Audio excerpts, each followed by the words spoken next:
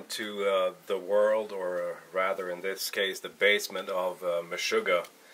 Uh, right now we're uh, writing for an album that will hopefully be out in 2016 and uh, we're gonna just show you a little bit of how we work some things out. Uh, sometimes a, a, song idea comes from a guitarist or a bass player. Sometimes it comes from me as a drummer and uh, and a lot of those times when it's kind of my song so to speak uh, it's something that originates or starts uh, with me uh, kind of messing around at the kit and and uh, sometimes you find something cool in that and that you are able to make into an actual Meshuggah song. So we're gonna just do a short little thing without revealing too much of this uh, this particular song. Um, it's more of a rhythmical idea so far, and you, will get the, the, the, the, gist of it when uh, you see how we work this thing.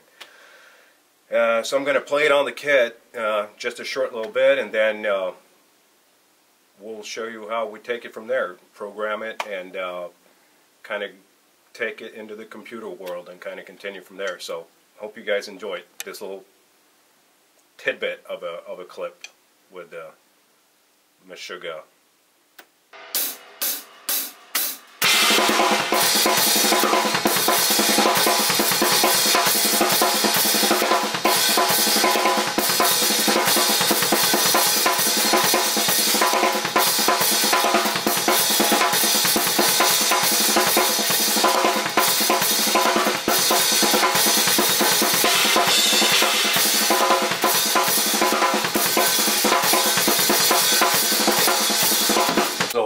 Thing that uh, I played downstairs uh, at the kit. Uh, this is just to kind of quickly show you how we uh, how we do this thing. Uh, first, what I will first do, this looks a little crazy right now, but what I'll first do is I'll, I'll kind of analyze what I've been playing on the kit, and then uh, and then I'll try to program it as closely as possible to to to what I'm playing.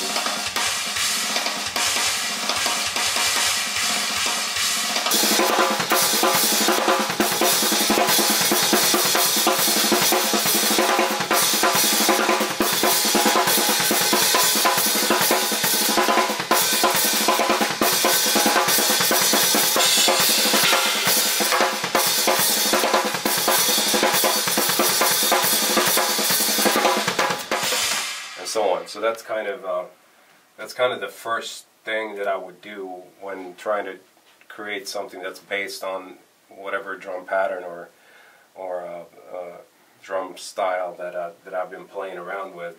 And uh, the the next the next step then would obviously be to try to record some form of guitars. And right now, uh, it's basically just hits, just to kind of um, just to kind of go with the drums. It's not very much an evolved um, uh, uh, riff, guitar riff as such. It's more just kind of um, going with the drums, so to speak. So if we add the guitars, it's something like this.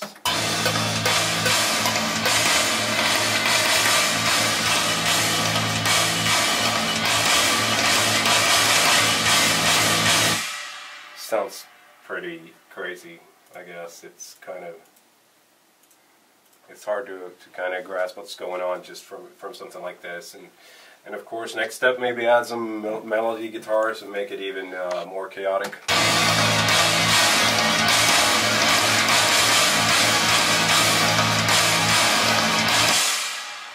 And um, so this is kind of how we work. That's kind of a starting point not not maybe the typical one uh, as far as uh, how the drums are playing and so on, uh, but uh, this is kind of how we work nowadays. You know, we take an idea, uh, either start with drums or with guitars, and uh, we use Cubase and we program drums, and this is kind of how we how we do our thing. So instead of instead of recording demos like we used to do in the studio, you rent a studio and all that to kind of know where you're at with the songs. We don't really have to do that anymore. Uh, with the sounds that are available uh, nowadays, like as far as uh, effects that are even in the programs um, and, and drum sounds with, with Toontrack drums and, uh, and so on.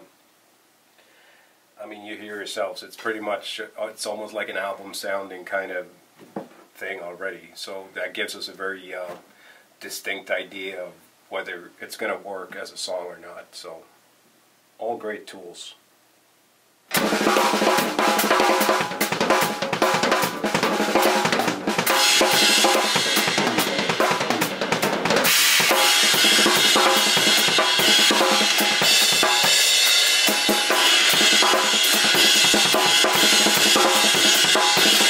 So with all these tools, you know, like Toontrack drums and, and being able to program uh, whatever ideas you might have in Cubase, uh, it's awesome. The only thing you got to watch out with is you got to be able to play it as well, because at some point I'm going to have to learn all this the the drums that that I I come up with and that I program. I got to learn and and record for album and for live use. So.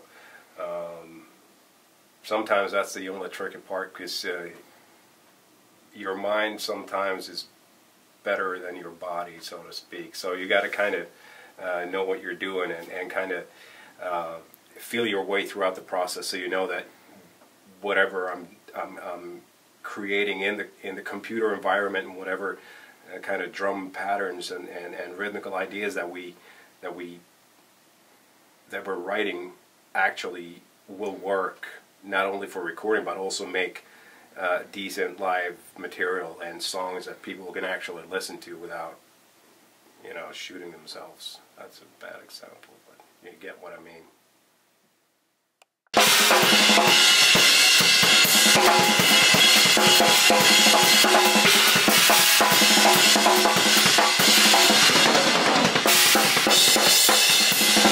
Just want to do a, a, little quick run through of uh, the drum set I'm, that I'm using uh, currently, or actually the, the brands I've been uh, playing for years. And uh, as you can see, the drums themselves are a Sonor. Uh, this is a SQ2 kit uh, in beech wood, and uh, actually this the very you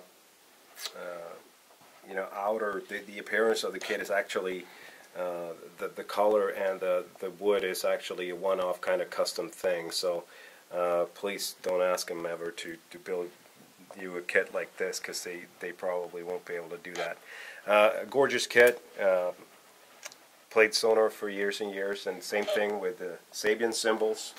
Um, right now this is not a touring setup right here. This is more of a me spoofing around on the kit type of setup. Uh, some of the cymbals are similar to the live stuff that I use but but the setup is, is quite different. I don't have a big china like on here for examples, which I usually do um, when we play live. Uh, I want to mention the seat too, Porter and Davis, excellent uh, sound seat or whatever you want to call it. So it's a, uh, it's basically a monitor in your seat, so it shakes your rump, and uh, it's uh, it's got its own amplifier to it, and it works really well. Uh, once you get used to a thing like that, you gotta kind of have it. You get really dependent on it. so Porter and Davis, those are cool. All the drums fitted with uh, Remo heads. Uh, right now it's uh, Emperor coated, uh, except for the one small tom because I didn't have one at the time. But um, yeah, those are the heads, that the, my heads of choice right now, and the Emperor X uh, um, by Remo as well, the coated Emperor X on the snare, and that thing can take a lot of beating. So um, that's about it, I think.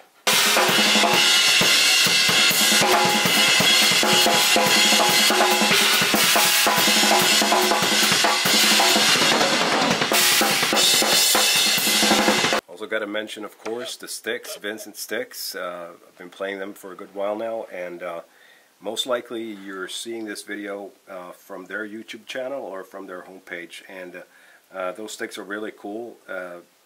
They're a little different in the way that they apply uh, the wax to those sticks, so they're really nice on your hands, but still really good grip. So that combined with uh, really good craftsmanship and excellent, you know, attention to detail and all that, excellent sticks. So if you haven't tried them, check them out.